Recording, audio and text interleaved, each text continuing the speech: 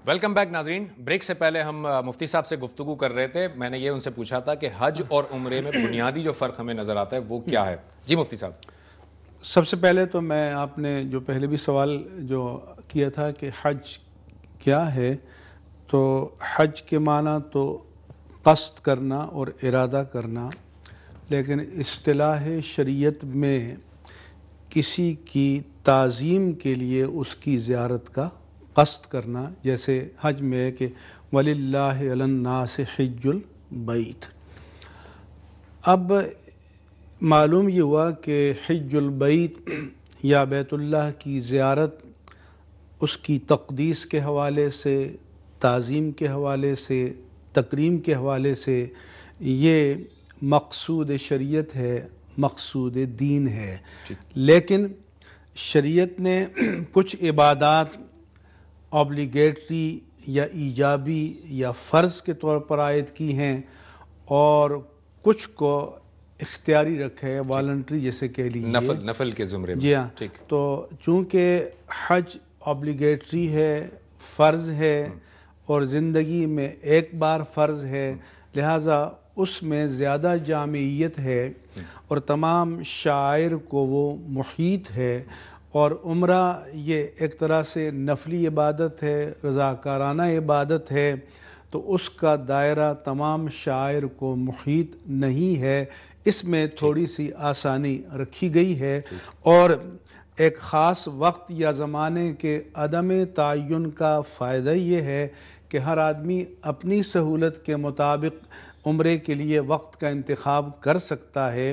और जब रज़ाकाराना तौर पर नफली तौर पर इबादत करने वाले साल के मुख्तलिफ़ हिस्सों में जाएँगे तो इबादत में आसानी भी रहेगी। और वो मशक्क़त जो हजूम एक इंसाना कि हज में आलमगीरियत है। हज में चूँकि हाँ। आलमगीरियत है तो एक इसलिए एक इसमें ये एक तरह से निस्बतन सहूलत ठीक है। अच्छा मुफ्ती साहब ने अभी एक लफ्ज इस्तेमाल किया शायर की बात इन्होंने की। अब शायर जो है वो शईरा की जमा है और ये बेसिकली अलामत के मफहूम में आता है। शईरा जो है या शायर जो है। अब अगर अलामत है अल्लाह ताला ने जैसे कि कहा इन सफ़ा वल मरवा मिन शायर सफ़ा मरवा को अल्लाह ताला ने अपना शायर करार दिया है। तो ज़ाहिर है, हर चीज़ का कोई ना कोई अलामती मफहूम ज़रूर होगा। मैं पहले तो ये जानना चाहता हूँ कि जब हज पे जाते हैं और हम जैसे जमरात होते हैं, उनको कंकरियाँ मारी जाती हैं। शैतान का एक सिंबल है वो, अलामत के तौर पर। ये ऐसा क्यों है? मतलब उसको कंकरियाँ मारने का असल में फलसफा क्या है? हम जब कंकरी मारते हैं तो इसका मतलब क्या होता है? मफहूम क्या है इसका? हर एक काम का एक मफहूम जैसे कि मैंने एहराम का मफहूम आपके सामने बताया। जी जी। एक मफहूम आपका खाना काबा के गिर तवाफ करने का है। एक मफहूम सफ़ा व मरवा की पहाड़ियों पर सही सही करने का करने है। एक मफहूम अराफात में वकूफ़ का है। एक मफहूम मुजदलफा से कंकरियाँ चुनने का है। इसी तरीके से एक मफहूम मिना में क़्याम का है और एक मफहूम शैतान को कंकरियाँ मारने का है।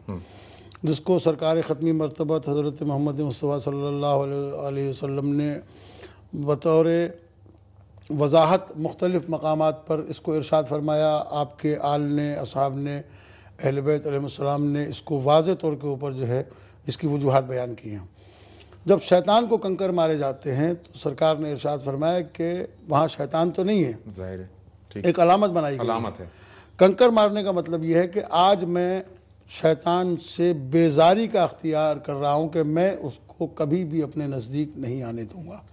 क्योंकि हज एक ऐसी इबादत है जिसके लिए सरकार ने इरशाद फरमाया कि हज पर जाने वाला इंसान इस तरीके से पाक होकर वापस आता है जिस तरीके से आज ही अपनी माँ के पेट से पैदा हुआ है। यानी शैतान से बरात का ऐलान है। शैतान से बरात का ऐलान है। ऐलान है ठीक। और इसी तरीके से जब कहा कि कुर्बानी के गले पे छुरी फेरो तो छुरी फेरते वक्त भी ये करो कि मैं अपनी तमाम बुरी ख्वाहिशात के गले पर भी छुरी फेर रहा हूँ। और आज से मैं अपनी ख्वाहिशात असल कुर्बानी जो है वो इंसान के नफ्स की है जिसका इजहार दुम्बे के ज़रिए से किया जाता है जिसका एक मफहूम तो जनाब इब्राहिम की कुर्बानी की यादगार भी है। ठीक। और दूसरा मफहम इसका यह है कि मैं अपनी तमाम तर ख्वाहिशात के ऊपर भी छुरी फेर रहा हूँ।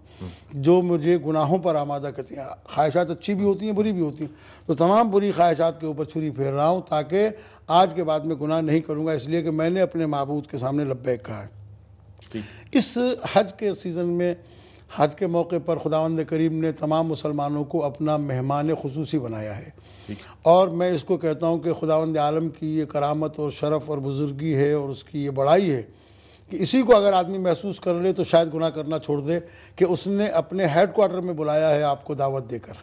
हाँ, जबकि दुनिया के अंदर मुल्क का प्रेसिडेंट अगर आपको अपने हेडक्वार्टर में बुला ले तो आप सारी उम्र फ़ख्र से तने रहते हैं।